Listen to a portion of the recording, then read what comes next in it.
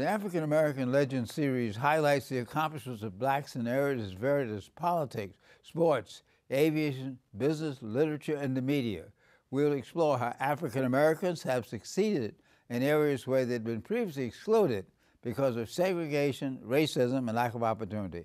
I'm your host, Dr. Roscoe C. Brown Jr., and with us today is Errol Louis, the host of New York One's Inside City Hall. Now you're inside CUNY TV. How about that? Good to see you, Dr. Brown. Thanks for having me on. Okay, now one of the things that we try to do is to help people understand what our guests are going through and getting to where they are.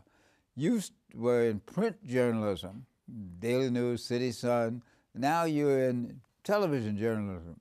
How did you make that transition and why did you make the transition? Oh, sure. Well, to answer the second question first, there are a lot of people who go from print to television. You almost never see anybody going in the other direction. Hmm. and the reason, frankly, is that television pays a lot more. And so, print media is going down. Well, that's true. Um, and, although I have to say, all media are in trouble right now because mm-hmm. there's a mm-hmm. lot of turmoil in the in the business. Mm-hmm. People are able to get information from lots of different sources, and they can get it for free and trying to figure out the business model is what a lot of people are, are really uh, obsessed with right now. But just to tell my story a little bit, I started out as a print journalist, and I'm old enough uh, that when I was in college on the school newspaper, we were using manual typewriters. Where were you in college? This is at Harvard. Uh-huh. In uh, I was in the class in 1984, mm-hmm. and uh, we were using manual typewriters. We were laying things out. I mean, cut and paste was not uh-huh. uh, an expression. It was how you would put together the story, the rough draft.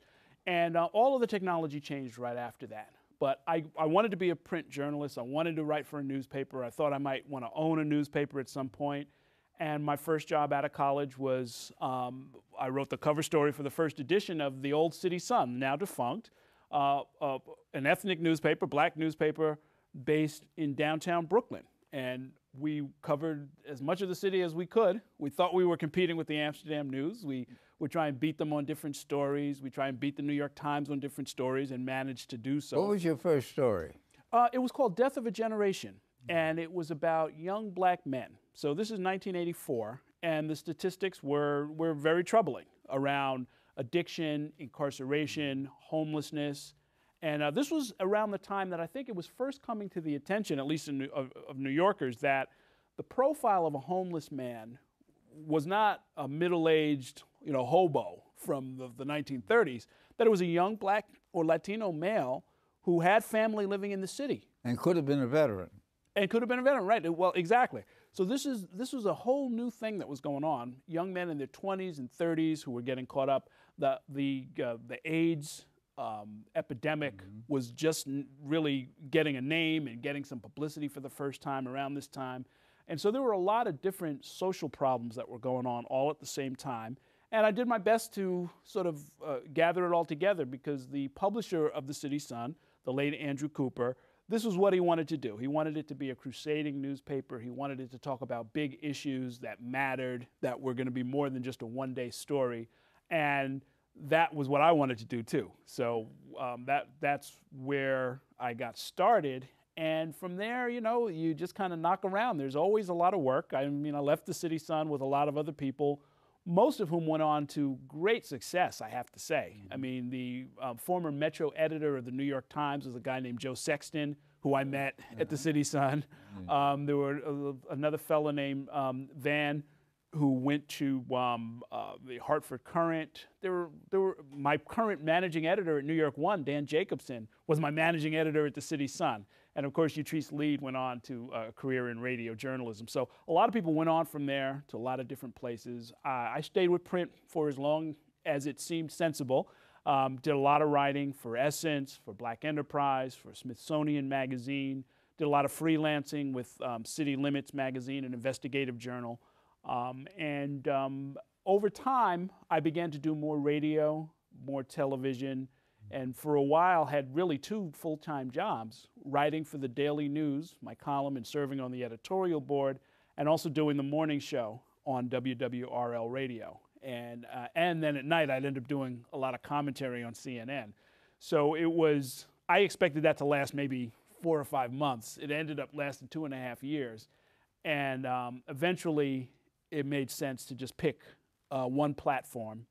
It ended up being television and really just kind of stick with that. Now, Andy Cooper's idea for the City Sun, he had the tagline, speaking truth to power. Yes. And in a sense, that's what you try to do. I know that Andy and the City Sun did stories on certain people in the black community that were not widely, easily received because they were critical of African Americans. How did that influence your career in terms of how you approach controversial topics? Well, it was it was a it was a perfect match, really. I mean, and and it's not it's not just speaking truth to, to power, Dr. Brown. I mean, even when it comes to um, uh, criticizing plays, mm-hmm. and I don't even mean criticizing meaning something negative, but just mm-hmm. reviewing a play, reviewing a book. Mm-hmm. Uh, at the time the City Sun began publication in the mid '80s, there was one of the problems that was going on was that it was always happy talk. If you looked at the black newspaper, the mm-hmm. black magazines, they wouldn't talk about things like addiction in a real gritty, serious way. They didn't want to ruffle too many feathers mm-hmm. politically. They didn't want to ruffle too many f- feathers artistically. Some of that impulse was understandable. If you've got somebody who's a black playwright, mm-hmm. you know the kind of struggles they're going through just to get their stuff on stage. So you don't necessarily want to want to pan it. On the other hand, if it's a bad play, you owe it to your audience to tell people this play could be improved. This play is not so good. It's not very insightful. And so the City Sun really tried to just do a better job of of, uh, of black journalism, to do a better job that included investigations, including of black officials. That was considered very controversial. Um, to do real hard hitting analysis of even the cultural output. That too was considered uh, somewhat controversial. Armond White was uh, the, the, the film critic, and and you know he would get a lot of pushback. But Andy, to his credit, he told us to go out there, tell the story the way it needs to be told. Uh, refer anybody who had a complaint, refer them to him. he would fight those battles for us, and um, it, it's the only way to do the, it's only the only way to do a good job. Well, some people felt in the black establishment that he was sort of being unfair because the he was picking up things, and the white press would pick it up and then beat up on the black officials even more. Uh, how did he counter that, if he did? Well, uh, I heard more than one loud conversation uh, coming his side of it out of the office, where somebody would call up about something, for instance, that I had written, mm-hmm. and he would just scream at them. Mm-hmm. You know, and he and the thing is, the thing is, well, you know his history. He'd known all of them since the 1960s. Mm-hmm. You know, he he knew these guys. He's known Al. He knew Al Sharpton since Sharpton was a teenager. He knew all of those guys up in Harlem, um, and so he, uh, you know, he he could talk to them in a way that I couldn't. You yeah, know, I mean, I'm 22 years old, just out of college. I didn't know any of these guys, um, but he would tell them, "Look, I know you. You know me. We're telling the truth here." And frankly, in subsequent years, I have to say, I've never met a politician who got negative coverage who didn't think it was unfair. So um, one thing I learned from well, What about a, a, television host who gets negative coverage? Well, I, I, I tell you, I, I get I get a lot of I get a lot of notes. I get a lot of Twitter response. I get a lot of feedback. People stop me in the street, mm-hmm. and um, what I tell people is, um, you may not like what I've said, mm-hmm. but if it's factually wrong, I will apologize immediately. I have no ego around that. I don't try and protect incorrect information at all. Um, I also try and tell some of the officials where, you know, once in a while they'll say, look, go back and look at that. Mm. You know, you were really too hard on me. I'll go back and look at it. Mm. And I have been known to call up people and say, you know what, you're right. Mm. We were a little too tough on you. Next time around, because this is a, you know, it's a daily show, mm-hmm. you know, I'm, I'm, doing, you know, I've, I've, only been there about seven months. I've done well over 100 shows at this point. Mm. Um, so we have time to correct anything that, that may have been out of line. Well, see, as a host of uh, Inside City Hall, uh, you are sort of the drum major. You push the questions here, you push the questions there, and I know sometimes you try to get a balance. If somebody's making a point, you give the other guests an opportunity to rebut that point. Yes. But when do you get your opinions into it? Well, I don't. I don't. And this was the biggest change. I mean, you talk about the difference between print and television. The biggest change for me is that I went from being an opinion columnist – and a talk show host where I would talk for three hours every morning about whatever was on my mind to the anchor of the show. And as the anchor of the show, um, I'm really there to sort of manage the conversation, to introduce the segments that our reporters have done, mm-hmm. and to take uh, my guests through a conversation. And if there are two sides, I'll manage that conversation. And if there's only one person in front of me, I will take the other side just to make sure the viewers are getting all sides of the question, getting all of the relevant facts, and uh, hopefully enjoying themselves in the process. I notice when you take the other side, some people say that you are unfair, or that let's take the minimum wage thing in Walmart. There's mm-hmm. some people say that, that really is destroying the wage structure of the community, and the Walmart people have to come back. So, uh, how do you get your guests? Oh, well, we we sit around and try to figure out who we can get, mm. and um, we do the show, frankly, pretty much the way you do, Dr. Mm. Brown. I mean, we just do you do a half an hour once a week, we do an hour every night, mm. and um, we we try to stay on top of the news. We mm-hmm. try to make sure that we have whatever's going on that affects New York City and politics, whatever the the biggest story is. We definitely want that. Mm-hmm. Uh, we have our set pieces, meaning we have segments that are regular. Like features. the Wise Guys. We have the Wise Guys Curtis on Tuesdays, Sliwa. Curtis Sliwa and Hurston Barrero on Wednesdays. We have consultants on Monday, our consultants corner, and our Friday Reporters Roundtable, which is my favorite segment because that's how I got to know the show. I used to come on a lot. And um, so that's four nights of the week. And then on Thursday, we have a sound off, which is a different kind of a format. We could do a little experimentation and play around with that a little bit. But um, other than that, we start the show with about 15, 20 minutes of hard news of whatever happened in politics in New York City that day.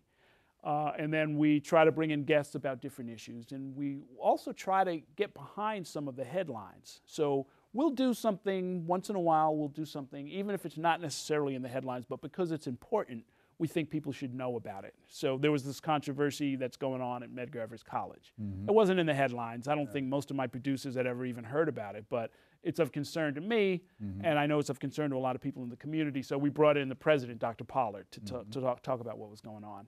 Um, and then we also do a lot of books and we do a lot of movies. Anything that has to do with politics, we, now, we'll grab it and put it right out there. Speaking of books, the new book about Malcolm by Manning Marable. Marable. Yes. Uh, I understand it's going to be a suit now from the person he identified as helping to orchestrate Malcolm's assassination. The fellow in New Jersey, yes. Yeah. We asked him. We asked him to come on the show. Yeah, I was about to say, are you going to do that on the show? Oh, well, we we asked him the minute his name was was made known, and not surprisingly, he and his attorney said no, mm-hmm. no thanks. I imagine in a lot of controversial things, attorneys will determine whether somebody speaks up or not. Yes, yes, but you know, this is the advantage of having a law degree. I finished. I went to night school. Uh, I went to law school at night at Brooklyn Law School a few years ago. Got my degree in 2005, and um, I'll, I, I've, I've just done this. In fact, I tell him bring the lawyer along. He can sit on he can sit on camera as far as I'm concerned. I mean, I I understand what they have to do and how not to trespass on people's rights or on the the problem that they may be trying to work through a court process. So that's that's never an issue.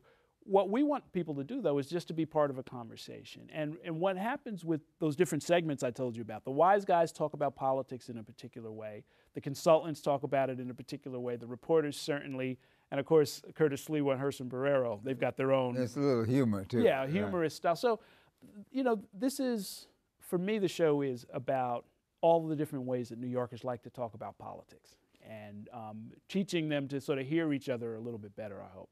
What about the social media, Twitter and Facebook? Do you get Twitter questions or Facebook questions during the show or get reaction to the show? Not during the show so much because parts of it are taped, and when I'm on the air, I, I don't have time to do anything except look in the camera and try and deliver it. But the, um, we, we're, we're making better use of it, I think. I use Twitter quite a bit. When I'm on set, I've done this a number of times. Mm-hmm. And when the president's giving a speech, for example, or when the mayor's giving a speech, or when the governor's giving a speech, I'll have my computer up mm-hmm. and I'll have the Twitter feeds running and I'll see what people are doing because I'm following over a thousand people on Twitter now. Mm-hmm. And I would say maybe 100 or 200 of them are reporters, mm-hmm. producers, editors, scholars, and they have a lot of insight and they plus a few individuals who don't have any title behind their name but just happen to follow and, and i think have a lot of good things to say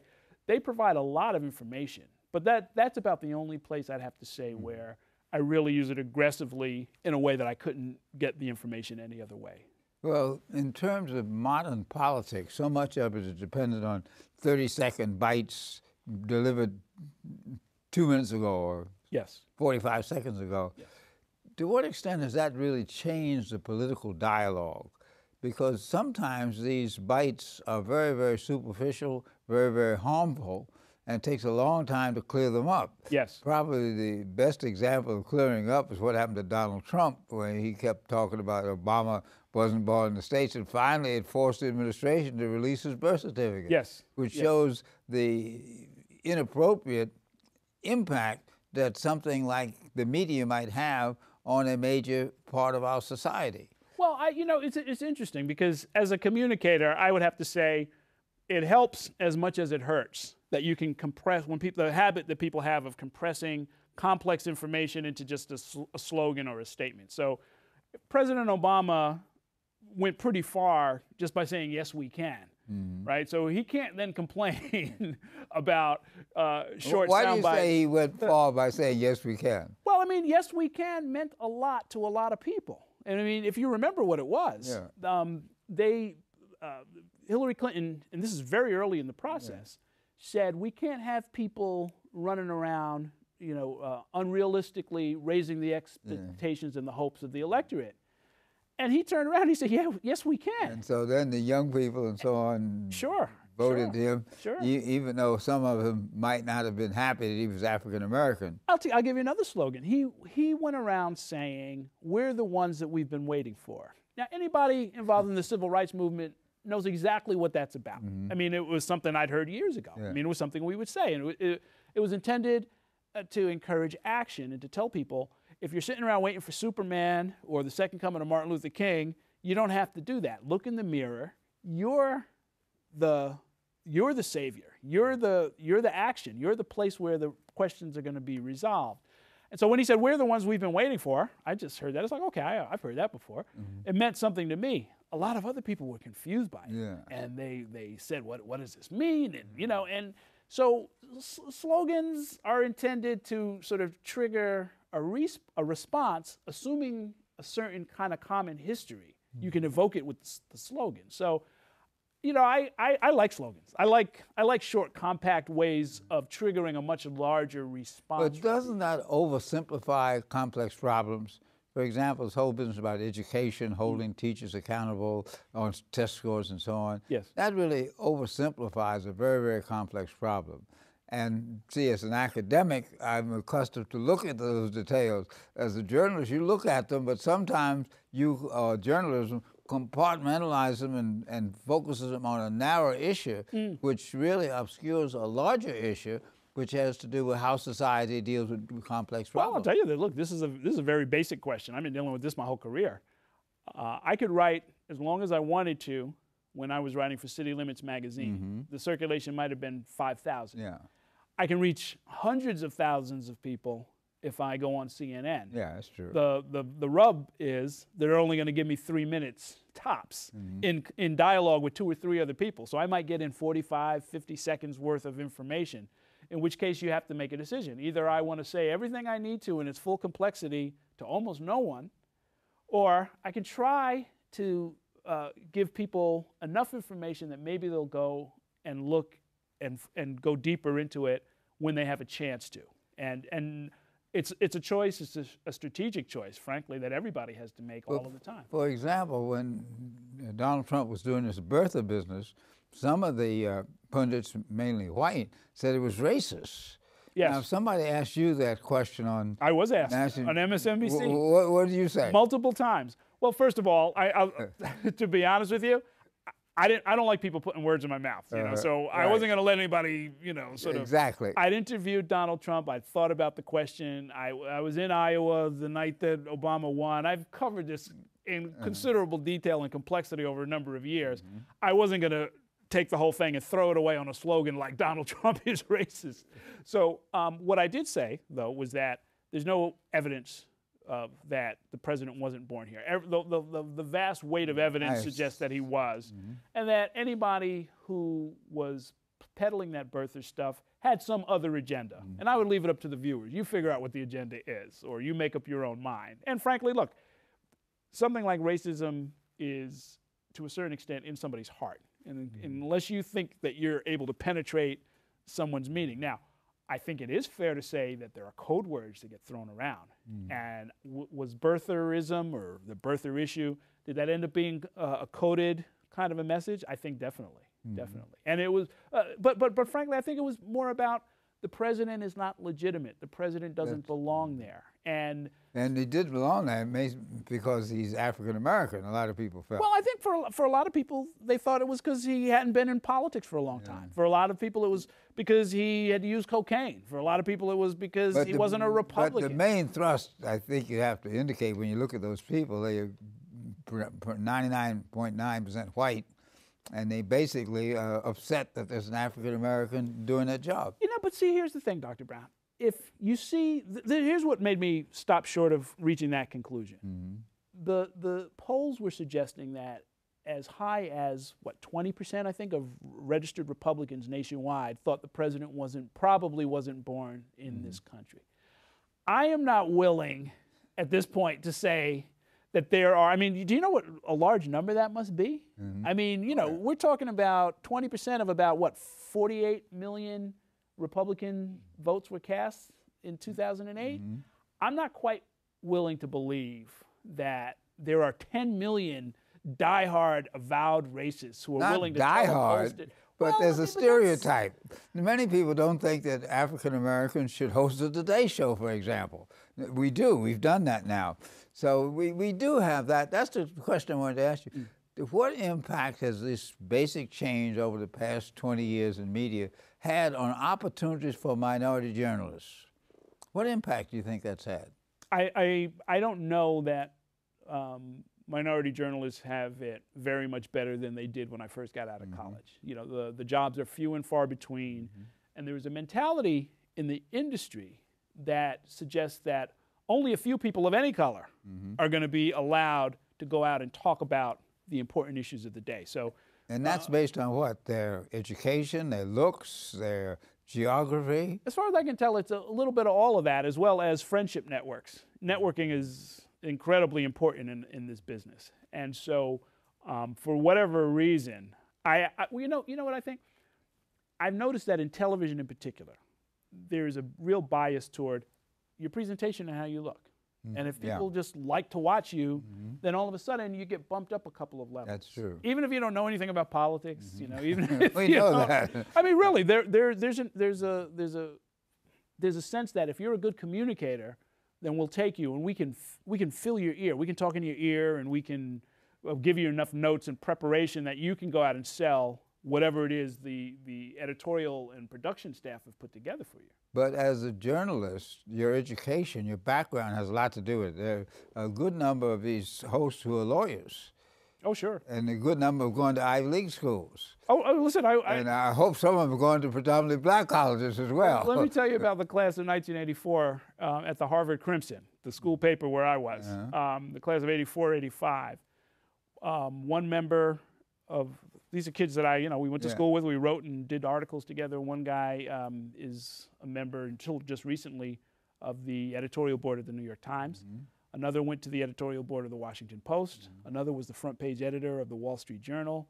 And right behind us in the class of 85 is a kid who used to write sports, Jeff Zucker, who became the president of NBC. The head of the um, newspaper group for the Hearst uh, publishing empire was in my class. I mean, and this, this is just a handful of people. We would have true. dinner together every night But as wha- teenagers. what about the network of black colleges? Have they produced uh, minority journalists who really move ahead, or is it mainly the predominantly white colleges? That's a good. done That's a good question. I don't. I don't know. I don't know. I don't think so. To tell you the truth, my my sense is that the kids who are going through Howard and Morehouse and the the, the big black schools are becoming owners. They're not sitting in front And- of cameras. many of them going to print journalism, like Essence and uh, Black Enterprise and so on. But what about BET? Yeah, that's a black television network. Mm. Sure. I would assume that. Well, uh, didn't Tom Joyner go to a black college? I? I, uh, I believe so. Don't I know. believe I don't know. I mean, but, you know, the former president of BET, Reggie Hudlin, yeah, that's true. was a buddy of mine. Lived in my dorm. Let me ask the, the question to come to then. What was the most challenging interview you've ever done? Oh boy, I think the the hardest interviews I've done were um, when I was in the print world, sitting in a kitchen or in a living room talking to someone whose son had just been killed. I believe that. That is that is very very tough stuff. There was a police it was a, a police killing out in uh, out in Bed Stuy, and I mean, what do you, you know, what do you say? What What, do do you you ask? And while you're trying to find out what went on, because you've got this exclusive interview, this ended up in a front page story for me. You've also got to talk to them. You know, you've got to do some of the basic work of journalism. You got to make sure you spell their name right. What year were they born? What are the siblings' names? How do you spell the siblings' names? And it's, it's very tough to pull that off and keep your own emotions in check and get the story and get it quickly and get it right. So these th- that to me has always been the hardest part. But at least in print journalism, they don't see your face when you do it. No, well, that's true. That's true. In fact, they don't care how you do it. You just got to get it right and get it quick. And um, the, the, I teach at the CUNY Journalism School, and um, what I've always told the students is, you can master the numbers and all the statistics, and I can give them the tools. We can teach them that in the classroom. It's when you're out in the field and you're trying again to control yourself, you know, your own emotions, and remember the basics of your job getting the information getting it quickly and accurately and then presenting it quickly because the logistics of all of this stuff is something nobody ever talks about mm-hmm. but you know if you're in the middle of nowhere and you got no signal and you've got to produce a story on very very very short notice um, that that's when you separate the pros from the uh, from the amateurs It's, it's like medicine. You, when you're in the operating room, uh, you're concerned with the life of the patient, but you also have to do what your skills allow you to do, Exactly and right. that you've learned in the past. Exactly right. Exactly right. I mean, look, one of the, one of the hardest stories I ever had to write was um, when uh, James Davis was assassinated at City Hall back in that was- 2003. He was a friend of mine. I rode to the hospital with his mother. I was there with her when the doctor uh, gave her the bad news. And after all of that was over and everybody finished crying, I had to call my newsroom. And, you know, they gave me a deadline and I had to turn it around very quickly and write something.